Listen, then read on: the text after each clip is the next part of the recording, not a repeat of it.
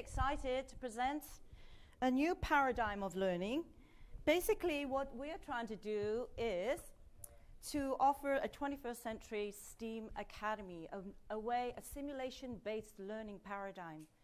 What we're offering is a parallel of both, coming in as a digital astronaut and also coming in in a fully immersive experience as part of a mission crew. And so this is an example of a workshop. They usually last an hour to two hours. And so just this one, you actually do a uh, geological EVA, you'll do a medical EVA, you do even be part of mission controls. You have that experience, you know, to have an all-encompassing experience. Basically, we are trying to offer experiential learning with exponential technologies. And we're also wanting to uh, train the next generation, not just astronauts, we want to also train visionaries, innovators, creators, scientists, and uh, entrepreneurs, right?